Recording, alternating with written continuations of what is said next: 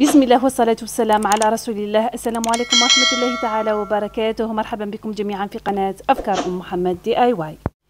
إذا فكرة اليوم هي إعادة تدوير قارورة لسائل غسيل الملابس. أتمنى أن تنال الفكرة. إعجابكم مشاهدة ممتعة.